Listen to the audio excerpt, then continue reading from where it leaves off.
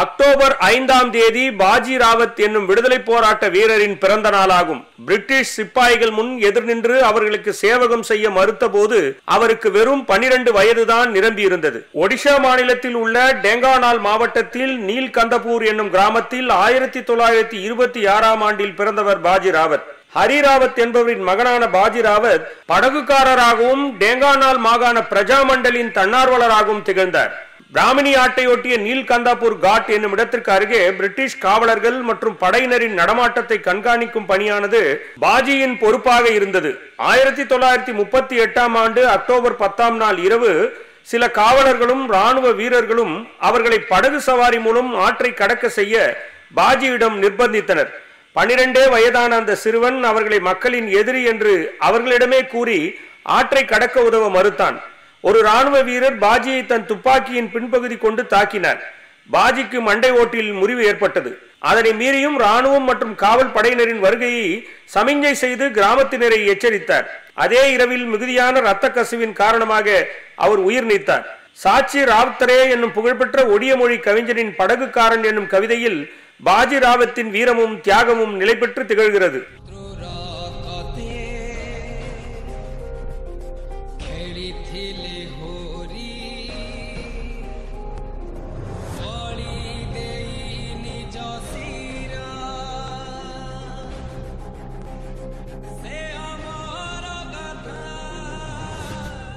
கேரளாவில் ஆயிரத்தி தொள்ளாயிரத்தி முப்பத்தி எட்டாம் ஆண்டு அக்டோபர் ஐந்தாம் நாளில் தீவிர வன்முறை மிகுந்த மோதல் ஒன்று பிரிட்டிஷ் ஆயுத படையினர் மற்றும் கடற்கல்லின் விடுதலை போராட்ட வீரர்களுக்கு இடையே நடைபெற்றது. கடக்கல் என்பது திருவனந்தபுரத்திலிருந்து நாற்பத்தி எட்டு கிலோமீட்டர் தொலைவில் உள்ள ஒரு கிராமமாகும். மாநில காங்கிரசின் உறுப்பினர்கள் சிலரை கைது செய்ததால் மக்கள் கோபமுற்றனர். கடக்கல்லின் சந்தையில் அரசாங்க முகவர்கள் மிகுதியான சுங்கவரி வசூலித்து வந்ததால் ஏற்கனவே அப்பகுதியின் சூழ்நிலை பதற்றம் நிறைந்ததாக காணப்பட்டது. இத்தனைக்கும் கடற்கல்லின் சந்தையின் வணிகம் ஒன்றும் அருகிலுள்ள கல்லார பங்கோடு பகுதியில் உள்ள மற்ற சந்தைகள் போன்று அதிகப்படியானது அல்ல. கடற்கல் பகுதியின் மாநில காங்கிரஸ் உறுப்பினர்கள் சுங்கவரி செலுத்த வேண்டாம் என மக்களிடம் அறிவுறுத்தினர். கூடவே மதுபான விற்பனைக்கும் தடை ஏற்படுத்தினர். செப்டம்பர் இருபத்தி ஒன்பதாம் நாள் அன்று போராட்டக்காரர்கள் அப்பகுதியின் காவல் நிலையம் மீது கல்லெறிந்தனர். சில காவலர்களுக்கு காயமும் ஏற்பட்டது. போராட்ட கும்பலின் அதிகரித்து வந்த பலத்தையும் கடுமையையும் கண்டு காவலர்கள் தற்காலிகமாக கொட்டாரக்கராவிற்கு சென்று தஞ்சமடைந்தனர். காவல் நிலையத்தில் இருந்த துப்பாக்கிகள் மற்றும் வாள்களையும் மக்கள் ஏற்கனவே கைப்பற்றியிருந்தனர். அக்டோபர் ஐந்தாம் நாள் அன்று இரண்டு ராணுவ படைப்பிரிவுகள் அப்பகுதிக்கு விரைந்து வந்தது. இரும்பு கரம் கொண்டு கிளர்ச்சியை ஒடுக்கியது. காவலர்களும் ராணுவத்தினரும் பதிமூன்று வீடுகளுக்கு தீமூட்டினர். இரக்கமின்றி மக்கள் அடித்து துன்புறுத்தப்பட்டனர். இயக்கத்தின் தலைவர்கள் மற்றும் அதில் பங்கேற்றவர்கள் மீது பல்வேறு வழக்குகள் தொடுக்கப்பட்டன.